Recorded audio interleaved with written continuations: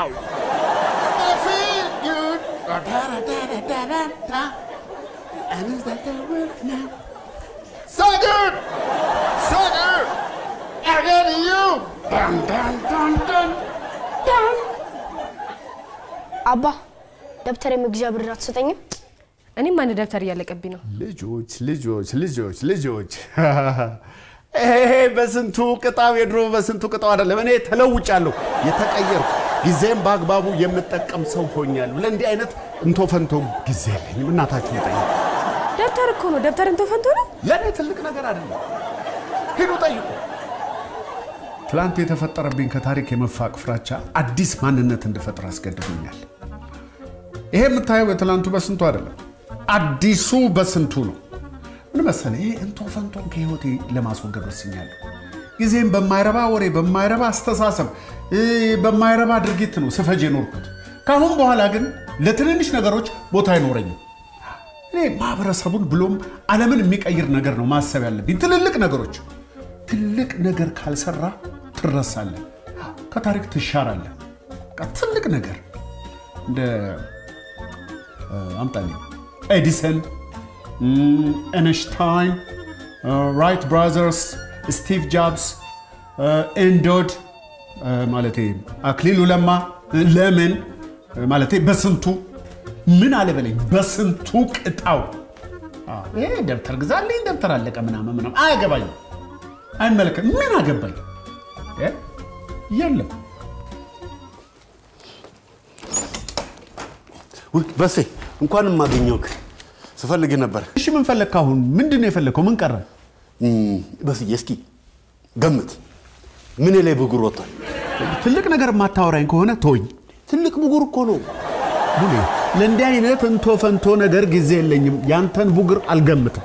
ተወኝ በቃ ደህና ነገር የማታወራኝ ከሆነ ሂድልኝ። ሂድልኝ? አዎ ሂድልኝ።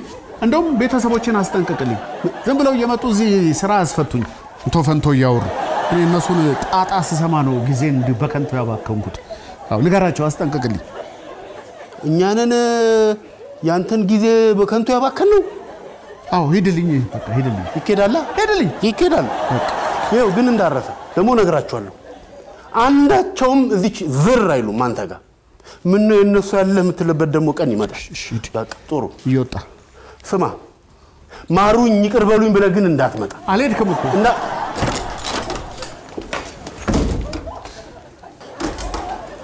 ደግሞ መንጋጭን ላይ ላይ ነው እሺ፣ ብጉር ይወጣ መንጋጭን ላይ ነው። ሙሌ ሙሉ ቀን ሙሉ! የሙሌን ድምፅ አልሰማሁትም በስዬ። አባረርኩት። እ? ሄደ ሄደ፣ አባረርኩት። በቃ ውይ ውይ፣ ምን አረገ በስዬ? ምን አረገ? አንድ የምታጫውተው እኮ አንተ ነህ። እኔ እሱ አጫዋች ነኝ።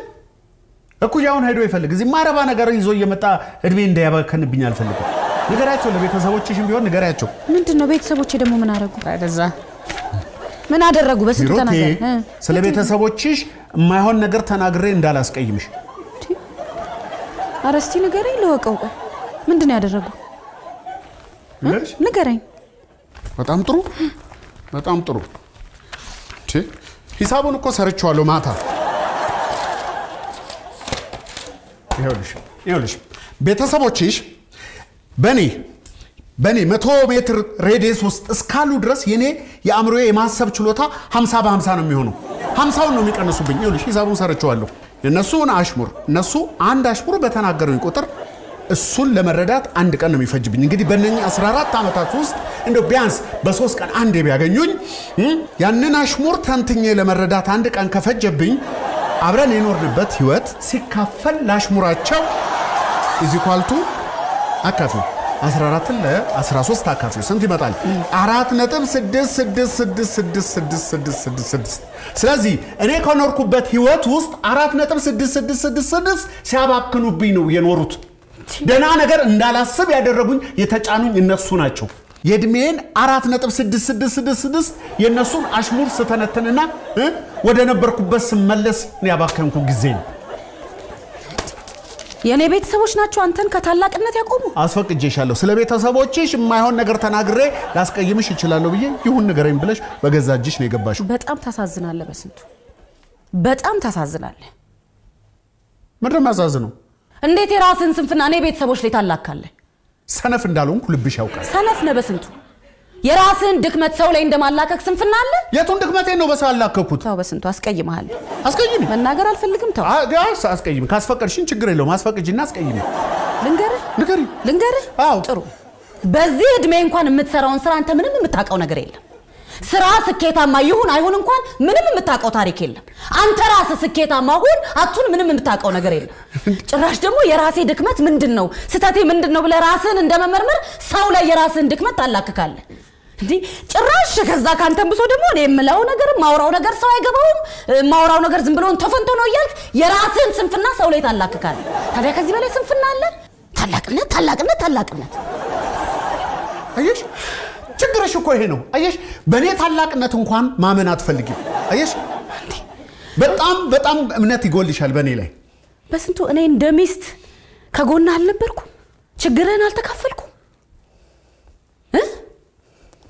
ይህን ጊዜ እኮ አንተ ለአንተ ታላቅነት መሰናክል ሂሩት ነች ምክንያት ብለህ ታስብ ይሆናል። ማን ያውቃል? ነው እንደዛ ነው የምታስበው? በስንቱ አትናገርም? እሺ ጥሩ። እንግዲያው ከመንገድ ዞር እልልሃለሁ። እሺ መልካም የታላቅነት መንገድ ይሁንልህ። ጥሩ ታላቅ ለመሆን ስትነሳ ሰው ሁሉ ይረዳኛል ማለት ዘበት ነው። እንደውም ነገሮች ቀና ከሆኑልህና ሰዎችን ካልጎረበጠ የያዝከው መንገድ የማይረባ ነው ማለት ነው። ሲገባት ትመለሳለች። ምነው ያኔ ጨክነ በተነሳህበት ወቅት ከጎንህ በነበርኩ ብላ ትመለሳለች።